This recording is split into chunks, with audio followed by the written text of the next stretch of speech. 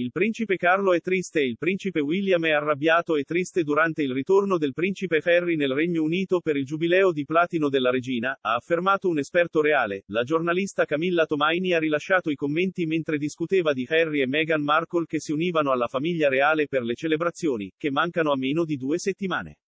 Il ritorno dei Sussex in Gran Bretagna arriva in mezzo a una spaccatura reale ben documentata, con la signora Tomaini che afferma che il principe di Galles era stato lasciato triste e il duca di Cambridge era Arrabbiato e triste, parlando in un video per il Telegraph, l'esperto reale ha dichiarato, non so cosa stiano pensando i Cambridge sul fatto che saranno al Platinum Jubilee in questo momento perché sappiamo che le relazioni tra le due coppie rimangono ancora piuttosto distanti. Naturalmente il principe Carlo, che le uniche emozioni che è mai stato usato da lui o dalla sua gente su come ha reagito a cose come l'intervista a Oprah, sono la tristezza piuttosto che la rabbia. Quindi papà è triste, penso che il fratello sia arrabbiato e triste.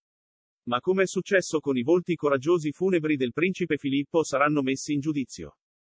L'aggiunta più interessante al procedimento ovviamente è Meghan perché in precedenza abbiamo visto Ferry da solo nel Regno Unito e ora la duchessa tornerà all'ovile ovviamente il linguaggio del corpo e la sua lettura sarà piuttosto affascinante. Ferry ha messo a nudo le sue fratture con suo padre e suo fratello nell'intervista televisiva bomba sua e di Meghan con Oprah Winfrey nel marzo 2021.